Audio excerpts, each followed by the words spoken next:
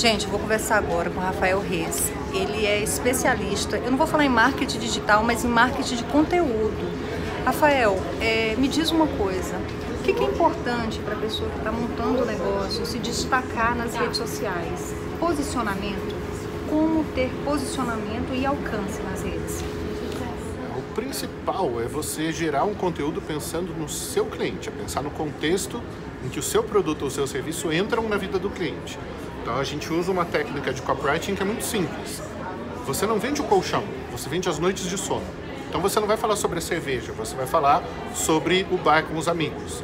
Você não vai falar sobre o pneu, vai falar sobre viajar com segurança. Não vai falar sobre o hotel, vai falar sobre se sentir bem fora de casa. Então o conteúdo na rede social ele é sempre sobre o seu cliente e nunca é sobre você.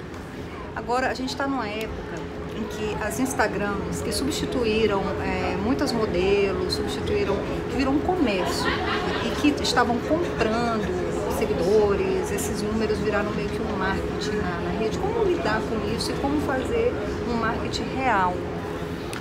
Quem se importa só com número acaba caindo nesse jogo aí de, de likes. Porque na verdade lá, like não paga as contas, né? É, então, e assim, é, é um monte de frase feita que não faz sentido. O que realmente interessa Sim. não é a quantidade de seguidores que Sim. você tem, é o impacto que você gera. Sim. É, tem uma Instagramer famosa aí, guruzinha de, de Instagram, tem 350 mil seguidores. Ela tem menos interação do que eu que tenho 37 mil. Então, assim, as pessoas interagem mais com o meu conteúdo com 10 vezes menos seguidores do que o dela. Por quê? Porque eu gero um conteúdo de uma forma que eu realmente me importo com as pessoas. Né? Eu respondo 80 stories todo dia. Então, assim, dá muito trabalho, leva uma hora por dia fazendo isso. Só que isso me gera cliente, isso me gera negócio, isso me gera aluno, isso me gera venda. Então, é não se importar com a quantidade, mas sim com a qualidade das pessoas que estão te seguindo.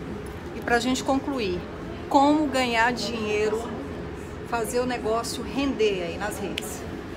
Tirar da rede social.